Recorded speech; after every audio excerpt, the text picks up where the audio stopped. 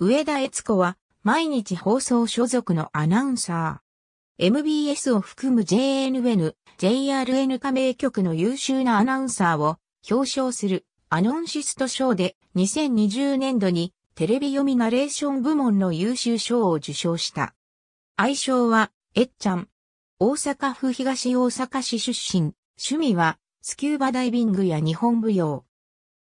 既婚だが、結婚後も、旧姓の上田を放送上の名称に使っている。四天王寺高等学校から大阪大学人間科学部へ進学。大学への在学中には、生田教室でアナウンス技術の研鑽を積んでいた。生田教室での同窓生に寺田由美子などがいる。大学卒業後の2000年にアナウンサーとして毎日放送へ入社した。同期入社のアナウンサーに上田隆淳と西村麻子がいる。毎日放送への入社後は、チチンプイプイをはじめ、テレビラジオ番組へ幅広く出演。2006年8月から産休に入ったが、出産後の2007年7月17日にアナウンサーとして職場復帰を果たしている。なお、上田隆淳と同期であるため、入社以来、テレビラジオの出演番組では必ず、フルネームで紹介されている。2008年11月から2009年4月25日までは MBS ラジオの看板番組の一つ、ありがとう浜村淳です土曜日ですで、渡辺高根の大役としてアシスタントを務めた。2009年からは MBS ラジオの旅情報番組企画、旅組プロジェクトに参加。同年5月2日に放送された特別番組、MBS 旅組プロジェクト第1弾、ゴールデンウィーク真っ只中。今からでも行きたい。取れたて旅ラジオでは温泉にマイクを持ち込んでのリポートに挑戦した。2009年10月から MBS ラジオで放送のナイターオフ番組 MBS 旅組とっておき旅ラジオでは、エツコを鉄子に、をテーマに西日本一の鉄道アナを自称する先輩アナウンサー、馬野正幸と水曜日のパーソナリティを担当。しかし、第2子を解任したため、同番組水曜日の最終放送への出演を最後に再び産休へ入った。MBS ラジオでは上記の産休から2度目の職場復帰を果たした2011年4月からの村での村田 EX トラ。木曜日にアシスタントとしてレギュラーで出演。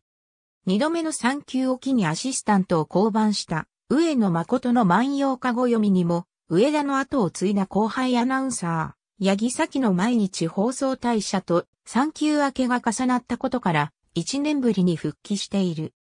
また、2012年4月から2014年3月までは、再び、チチンプイプイ月曜日のアシスタントを務めていた。2014年4月からは、かつて、フィールドキャスターを務めた、ボイスに、先輩アナウンサーで、メインキャスター、高井美希の公認として復帰。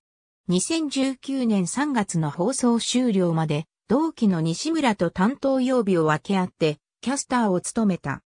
同年4月から2021年3月までは、事実上の後継番組である、ミント。でも、ニュースミント。月水曜日のサブキャスターを担当していた。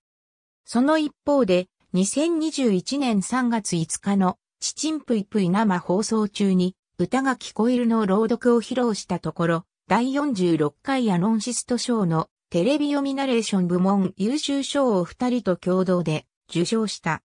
なお、新日本放送時代の1959年3月1日からテレビ放送事業とラジオ放送事業を兼営してきた毎日放送は2021年4月1日付でラジオ放送事業を株式会社 MBS ラジオへ移管した。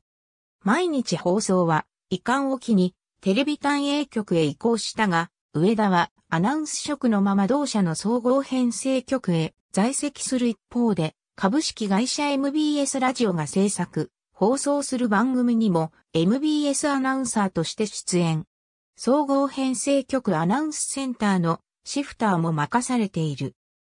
テレビラジオテレビラジオプロ野球のナイトゲーム中継を延長した場合に放送される後続番組の繰り下げ告知には、MBS タイガースナイター時代の2003年から MBS ベースボールパーク時代の2020年まで上田によるアナウンス音源が使われていた。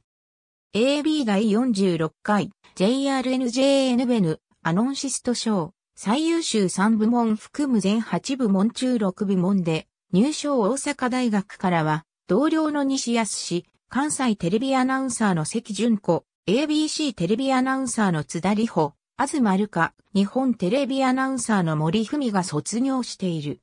姓は同じだが、血縁関係のない。当初は一般職で採用された。カモン最終出演日となった9月20日の知ってーなー。ちなみニュースは森本直太氏が担当。ピアノ演奏に納得がいかないえっちゃん同日の上泉雄一のええなーはカモンの出演日だったためか知ってえなー。ちなみニュースも担当。延長した場合には時報及び時報 CM を放送できないため、そのために生じた10秒の空き時間をアナウンスに当てている。ありがとうございます。